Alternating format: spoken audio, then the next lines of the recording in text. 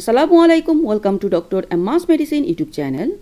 In this video, I am discussing about different types of headache characteristics.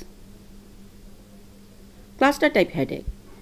This present behind one eye at a time, sometimes a series of headaches. There is swelling, redness and sweating present.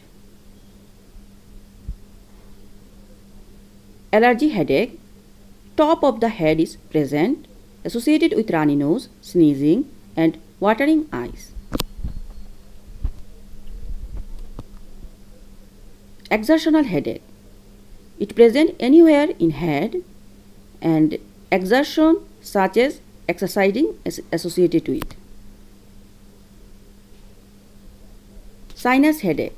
It present on eyes and cheeks and aggravated by pressure and facial pain. Tension type of headache. It is band around the headache, aching pressure and triggered by stress. Migraine type of headache. It present one side of head, light and sound sensitivity.